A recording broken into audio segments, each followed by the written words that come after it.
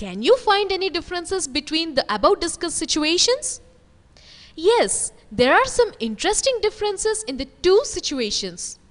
In the first case, variation was naturally advantage which gave survival advantage.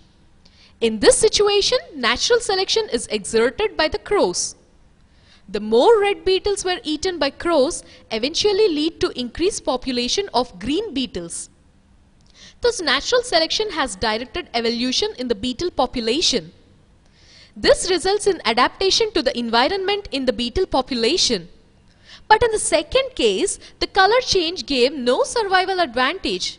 Just the accidental survival of one colored beetle changed the common characteristic of the resultant beetles.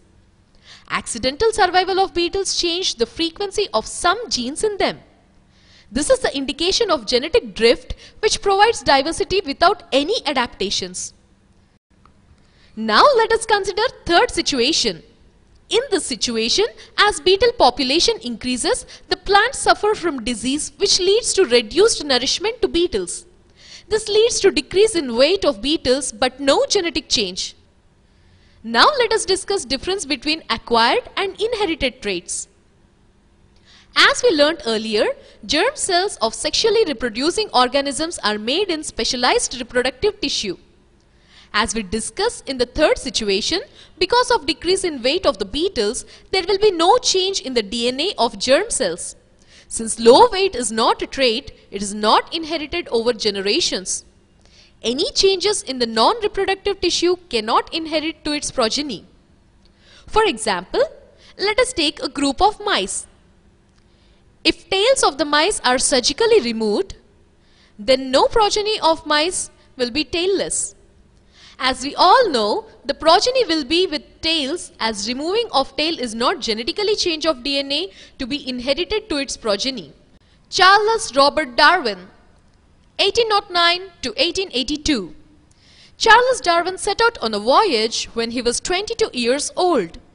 The five-year voyage took him to South America and the islands of its coast. He conducted various experiments that led him to formulate his hypothesis that evolution took place due to natural selection. One of the studies he conducted was to do with the role of earthworms in soil fertility.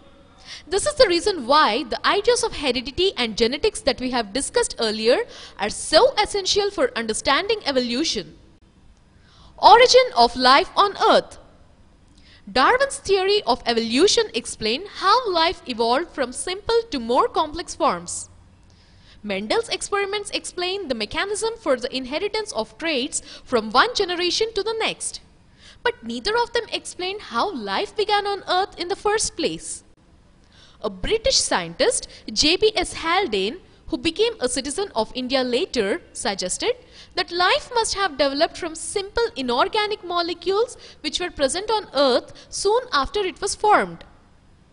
How did these organic molecules arise?